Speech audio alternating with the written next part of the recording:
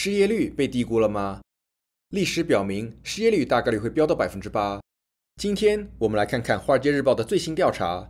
调查汇总了各路经济学家对美国未来经济的看法，他们的看法合理吗？接着我们来聊聊欧洲央行。今天欧洲央行公布了利率决议，官员们担心未来可能只会降息一次，这会有什么影响呢？然后就是台积电和 Netflix 的财报，AI 投资还值得乐观吗？那么就开始今天节目吧。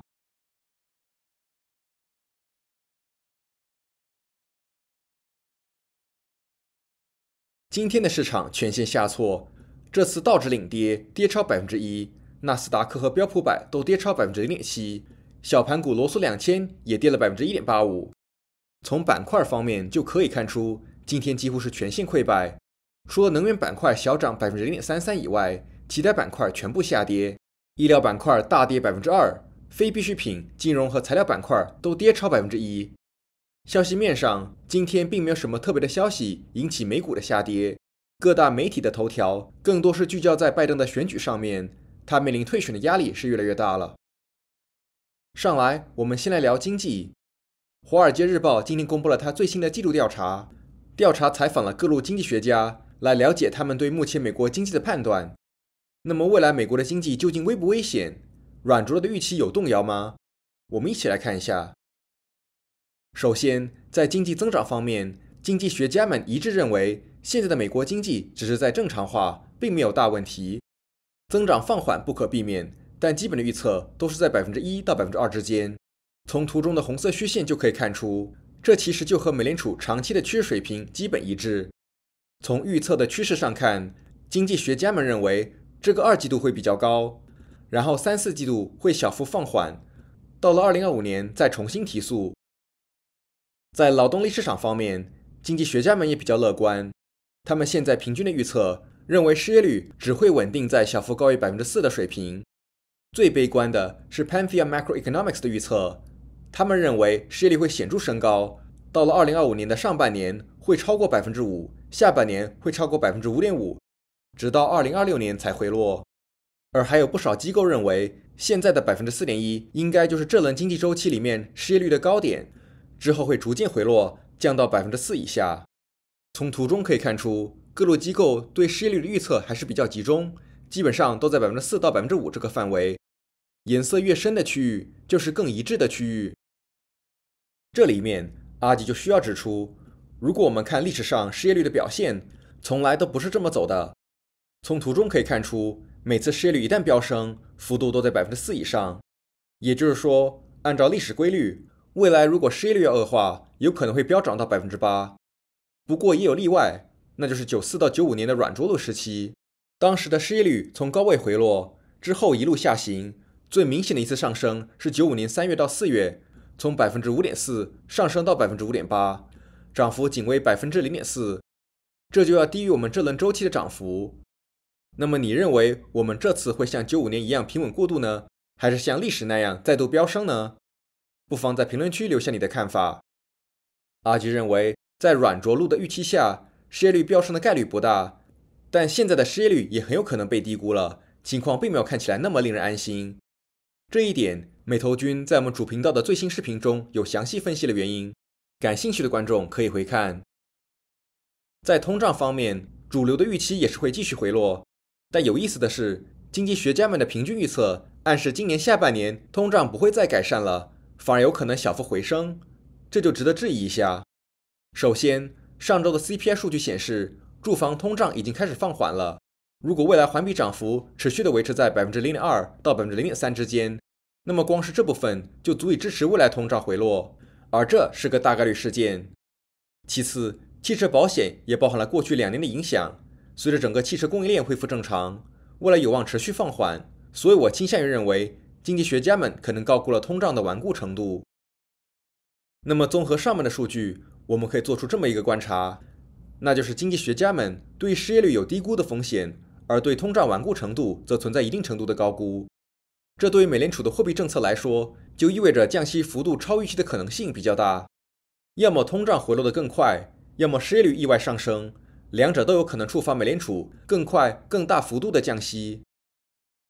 可是，如果这样的走向发生，对我们投资者来说并不是一个好消息，因为通胀快速回落和失业率上升都意味着经济可能出现了一定的问题，这可能会让上面的经济增长无法保持在百分之一到百分之二之间。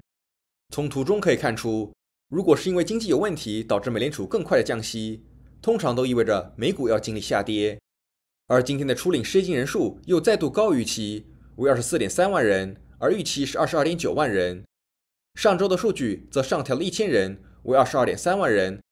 续领失业金人数则为一百八十六点七万人，高预期的一百八十六点三万人，创下二零二一年十一月来的新高。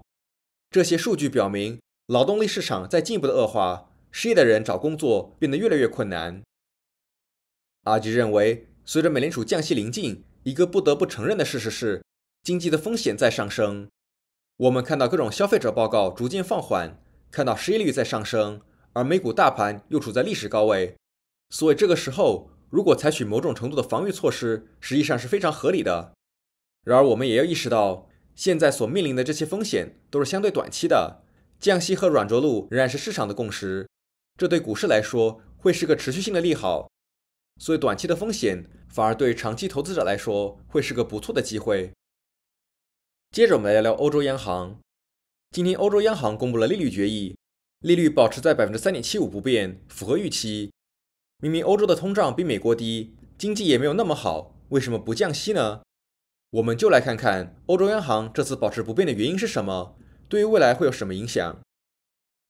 欧洲央行的声明写道：“数据广泛支持了委员会之前对通胀中期的展望，但与此同时，本土的物价压力依然偏高，服务通胀高企。”名义通胀大概率到明年很长一段时间都会高于目标。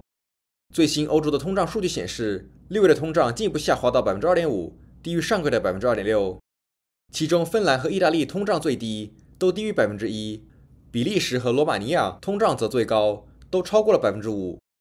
从类别上看，去能源的通胀为百分之二点八，和上个月持平；服务通胀继续保持在百分之四点一，也是两个月没有动。这样的通胀数据并不支持欧洲央行进一步的降息。行长拉加德在记者会上就指出，欧洲的劳动力市场展现了惊人的韧性，所以允许央行可以等到最佳的时间降息。目前还需要更多的数据来提供确定性。彭博就引述知情人士称，现在欧洲央行的官员们越来越担心，今年可能只会再降一次，而之前他们就暗示过，央行也许可以再降两次。这就让九月份是否降息再度蒙上了阴影。知情人士继续说道：“官员们不想投资者认为九月份的降息已经确定了。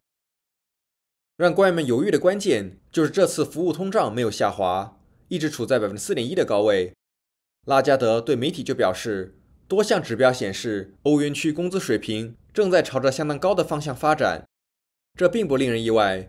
近期通胀飙升后，市场就预期工资会迎头赶上。最新的数据显示，欧元区的薪资在第一个季度就同比上涨了百分之五点三，而上个月是百分之三点一。服务端依然存在通胀压力。然而，虽然官员们开始犹豫，但各路机构们却还是很乐观。汇丰的投资策略总监就认为，欧洲央行九月份降息的可能性相当的高。他就指出，美国这边有很多前瞻性的指标显示工资增长放缓，六月份。美国的 CPI 通胀意外下行，这些就为美联储降息打开大门，而这就限制了欧元的下行压力，会帮助欧洲通胀回落。德意志银行的首席欧洲经济学家就表示，欧洲央行正在朝着九月份降息的方向前进。他认为，欧洲央行将一些通胀的数据解释为一次性的因素偏鸽派，整体趋势还是朝着百分之二的方向走。所以，这个犹豫的报道只是个噪音。阿吉就认为。这段时间，美联储降息的可能性大增，就缓解了欧洲央行的压力，起码为未来降息提供条件。这是因为，如果美联储保持不变，而欧洲央行继续降息，那么欧元就会对美元贬值，让欧洲的进口商品变贵。而我们都知道，大部分的大宗商品，特别是石油，是以美元计价的，所以有推升欧洲通胀的风险。现在美联储也准备降息，就降低了这部分的影响。不过，我会倾向于认为。欧洲接下来降息的步伐可能会比较缓慢，这主要是因为法国巴黎准备举行奥运会，这会给欧洲带来大量的游客，可能会让短期的通胀变得顽固，这值得注意。下面我们来聊个股消息。今天台积电和 Netflix 都公布了财报，那么他们各自的财报表现如何呢？首先来说说台积电，台积电可以说是业绩全面超预期。财报显示，公司的季度营收为六千七百三十五点一亿新台币，同比大涨了百分之四十点一，高于预期的六千五百七十五点八亿新台币。净利润为两千四百七十八点五亿新台币，同比上涨了百分之三十六点三。也高预期的两千三百八十八亿，其中先进制程，也就是七纳米以下的芯片，占到了营收的百分之六十七，高于上个季度的百分之六十五。三纳米和五纳米的出货量扩大，分别占了营收的百分之十五和百分之三十五。毛利率则为百分之五十三点二，高预期的五十二点六。在三纳米产能爬坡的情况下，还比上个季度提升了零点一个百分点。我们都知道，对芯片行业来说，越先进的芯片利润率越高，所以台积电在更先进制程的芯片出货量上升，对业绩来说是个好消息。Counterpoint Research 的副总监就预计，二零二四年全年三纳米制程产能将同比增长一倍以上，也就是说，未来三纳米的占比会持续扩大，进一步支持台积电的利润率扩张。从平台来看，HPC 也就是高性能计算或者说数据中心占比最高。高达百分之五十二，环比大涨了百分之二十八，反映了 AI 芯片代工持续强劲。智能手机业务则占了百分之三十三，但最重要的是环比跌幅显著收窄，从上个季度的负的百分之十六变为负的百分之一。这里面就肯定离不开苹果的影响。前段时间，苹果就称自己预计 iPhone 十六的出货量在苹果智能的加持下可以上涨百分之十，达到至少九千万部，高于 iPhone 十五的水平。于是，在 iPhone 的提振下，台积电的智能手机业务开始复苏。指引方面，公司预计三季度营收会在二百二十四至二百三十二亿美元之间，并上调了全年的营收增长预期，从百分之二十一到百分之二十六这个区间上调至百分之二十四到百分之二十六。毛利率预计在百分之五十三点五到百分之五十五点五之间，运营利润率则预计在四十二点五到四十四点五之间。这个季度为四十二点五。进一步佐证了台积电下半年的利润率会在先进制程的提振下稳步扩张。公司 CEO 魏哲嘉在财报会上就说：“我试图保持供需平衡，但现在不行。目前需求搞得我必须非常努力才能够满足需求，供给依然非常紧张，起码会贯穿2025年全年。公司希望到26年供给端能够缓和一些。公司还说，计划在2025年开始量产两纳米的芯片。”目前进展不错，符合预期。三季度公司依然会受益于强劲的 AI 芯片需求，同时智能手机也会不错。整个2024年会是台积电强劲增长的一年。在资本开支方面，台积电收窄了预计的区间，从原来的280到320亿美元，改为300到320亿，其中百分之七八十将会投入先进制程。魏哲嘉还说，不排除将更多五纳米的产能改为三纳米。因为三纳米的需求太高了，阿吉认为这次台积电的财报无疑是非常亮眼的，这进一步证明了 AI 芯片的需求会一直持续到二零二五年年底，对整个 AI 浪潮是个好消息，也减缓了昨天 SML 指引偏低的负面情绪。不过，即便这么好的财报，也没有能够扭转今天整体科技股的抛售行情。今天股价开盘涨超百分之三，之后下探，一度又跌超百分之三，到了下午再拉了回来。最终小幅上涨。如果说昨天大跌还可以归咎于地缘政治风险，还有芯片制裁的消息，那么今天的下跌无疑说明整体科技股的抛压就是非常大。这也就意味着未来市场对科技股的财报会有更高的要求。财报但凡出现什么瑕疵，可能会受到严重的惩罚，特别是 AI 方面，这值得注意。然后我们来看看 Netflix，今天盘后股价一度跌超百分之七，之后转涨。财报显示。公司季度营收为九十五点六亿美元，同比上涨了百分之十七，高预期的九十五点三亿美元。每股盈利为四点八八美元，也高预期的四点七四美元。其中，北美营收为四十三亿美元，高预期的四十二点八亿美元，同比上涨了百分之七。欧洲、中东和非洲的营收为三十点一亿美元，同比下跌了百分之一，也略低于预期的三十点二亿美元。拉丁美洲和亚太地区营收则分别下跌了百分之三和百分之六。不过，如果排除汇率贬值影响，拉丁美洲应该大涨百分之二十四。运营利润率为百分之二十七点二，高于管理层上个季度指引的百分之二十六点六。用户方面，公司全球付费用户上涨了百分之十六点五，为二点七七亿，高预期的二点七四亿。广告套餐用户则同比上涨了百分之三十四，单位用户营收为十一点五三美元，略低预期的十一点六九美元。这是公司最后一次公布用户数据。在上次财报中，Netflix 宣布要停止公布用户数据，引起股价大跌。管理层说要聚焦在营收、运营利润率和用户使用时长，认为这样更好。阿吉当时就不同意管理层的这个改动。用户数据是 Netflix 最重要的数据，没有之一。管理层此举无疑是让投资者对其透明度增加了质疑。指引方面，公司预计下个季度的营收为九十七点三亿美元，同比上涨百分之十三点九，这就低于预期的九十八点一亿美元。但运营利润为二十七点三亿美元，高于预期的二十五点三亿美元，运营利润率进一步提升为百分之二十八点一。同时，公司还提升了全年指引，认为全年的营收增长会在百分之十四到百分之十五之间。之前则是十三到十五。财报中，公司指出，自从广告套餐推出以来，规模不断壮大。现在，在有广告套餐的地区里面，它贡献了百分之四十五的新用户注册，是公司最重要的增长引擎。这个季度开始，公司将会慢慢的在美国和法国淘汰掉 Netflix 的基础付费套餐。之前公司就发现，付费广告版套餐单位营收要高于基础无广告付费套餐。于是，为了提高单位营收，这个部分将会逐渐移除。对用户来说，你要么付低价看广告，要么就付高价才能够没有广告。但对投资者来说，应该是乐于见到公司单位营收的上升。华尔街不少分析师在这次财报前就上调了 Netflix 的目标价。美国银行就将目标价从七百上调至七百四十美元，认为公司基础业务的增长将会持续，龙头地位和品牌不怕竞争。同时认为，2025年、2026年广告收入将会大幅增加。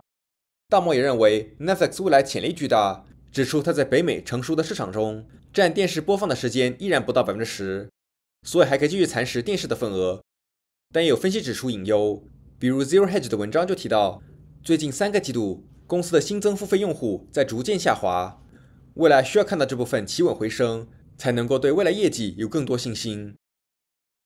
阿吉认为。这份财报整体而言还算是不错的，付费用户进一步上升，营收和利润都同比增长。公司也在继续扩大体育直播、游戏和产品业务，收入逐渐多元化。从更长期的角度来说，Netflix 可以创收的地方有很多，潜力巨大。光是热播剧的 IP 就足以给公司很多的变现空间，只需要公司逐步开发。所以我是看好 Netflix 的长期表现的，只不过。当管理层不再汇报付费用户数据的时候，对于我们投资者的分析难度是增加了，这也是投资这家公司需要注意的地方。好了，以上就是今天的全部内容了。如果各位觉得我做还不错，别忘了点个赞再走。持续输出不易，爱就需要我们的支持，谢谢各位。